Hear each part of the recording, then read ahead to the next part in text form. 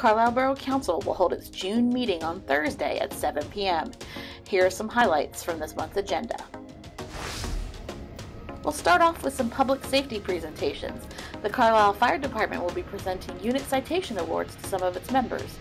The Carlisle Borough Police Department will also be recognizing recently promoted officers. Borough Council will make some appointments to our boards and commissions.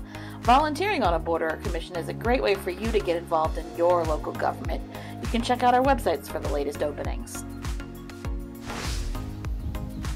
Under Public Works, Borough Council may approve an engineering services contract with Dalwood Engineering to provide planning and design services for the intersection of North Bedford, East Penn, and Kerrs Avenue. This particular intersection can be challenging for motorists, pedestrians, and cyclists alike. All three of the roads are one-way streets headed into the intersection. North of the intersection is one lane of travel and south is two lanes.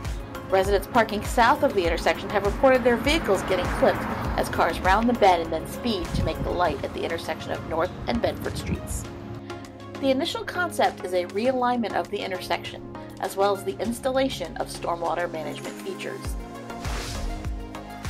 This month's meeting takes place Thursday at 7 p.m. at Borough Hall. Zoom attendance is also available. Visit our website for more details. We'll see you then.